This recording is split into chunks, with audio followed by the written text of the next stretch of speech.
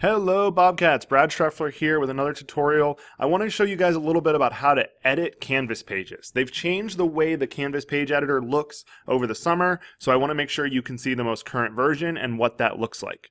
So especially if you copy the template over that I gave you guys and sent, said we'd ask you to use, then this will show you a better idea of how to use and edit that. So we'll go into our course that we want to edit. And in all course pages, whether it's a course page, a course assignment, or the home page, you'll have that edit button at the very top. So you'll click that edit button right there, and that will load our screen. If, like me, your screen shows up real small, we can drag that down right there and get a little bit more to look at. That'll help out as one first tip. All of our edit options are up here at the top. So you can, anywhere on this page, you can select content, you can change it to say what you want, you can just type, you're ready to go. That's pretty straightforward. We have headings. At the top, I tend to choose heading 2 for my top. I use paragraph for just regular text. So that way you don't have to try to mess with the text size every single time. I'm going to put that back. Let me show you a couple other little things. One of the questions that came up is how do you replace that image there if you want to put a different one? Well, all you're going to do is take the existing image right there, click on it, and then hit delete. And then if you want to add a new image, this is our button at the top to let us add an image. We click that drop down and we can either upload or use an image that's already in our course. Uploading is pretty straightforward. You just click on that and then find the image. If you want to find an existing course image, something you've already included in the course, then you can click on that. So you'll see those are the two course images I already have in my template course. So you would just replace it with your own picture and then you're good. You can also click to resize it, make it the size you want it so that it makes some sense on your screen. There we go. And we're set. If you wanted to add a YouTube video or something like that, we're actually going to do that as a link. That makes it really easy. So let's say I wanted to copy the link to this video and include it in my Canvas course. I'll click share here and just copy that link. Then on my Canvas page, I will just go ahead and paste that link right there and it will take care of it for me. So now when the page loads, this will be there itself and they'll click it and it'll load the video right there. If you wanted to embed the video directly into the page like I did here, then for that option, you'll actually do an embed. You'll click share on the YouTube video. You'll click embed.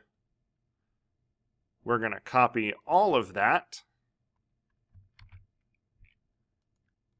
And then on this, we're going to click down at the bottom here, this option. This is going to show us the HTML editor. You don't need to do this, so if this is going to confuse you, don't worry about it. But right here, we're going to figure out where we want it to be, and then we paste that exact embed code right where we want it. So we'll paste that right there, and we'll go ahead and go back to the viewer. And now when it loads, you'll see that second video has been embedded directly in the page. Pretty straightforward on that one. If you've recorded a video in, in Canvas in using Studio, that's one thing that has actually changed. So now we're going to click on these three dots and we're going to click on this plug icon. That's meant to be apps or plugins, things that you can add in and that's where we're going to be able to add additional things. So we have Canvas Arc Studio is sort of our first option.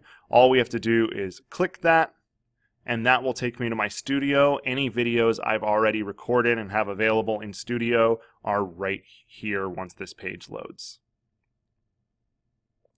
I can also add a video from YouTube into Studio. That would give me those additional options like having viewer numbers and things like that right there.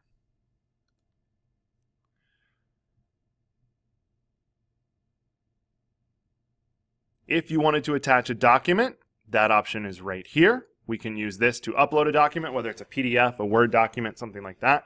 We can put that upload document right there. If I want to link to another place in my Canvas course, let's just say I wanted to uh, course home.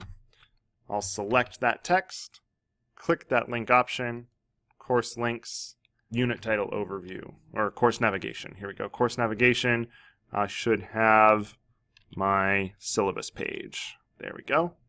Now that link will take students to the syllabus page for this course. Straightforward and pretty easy. Basic text editing features are all built in, of course. You can bold, italic, underline. We can change the font color. We can change a highlighting color if we want. We can use superscript or subscript if we need to do math equations, things like that. Justification, left, center, and right. Bullet points, as well as indents if we want to indent a section of the material. And we can insert a table if we'd like to as well. And then the last piece is the uh, math equation. You can insert math equations through there. Those features should give you a rough idea of how to edit and create a document or edit a page in Canvas. Remember, if you're using that template, make sure you read the material in here. It'll give you a walkthrough, but then once you're ready, you just select the material you want to delete and then hit the delete button. Then you add your own into that space. Pretty straightforward.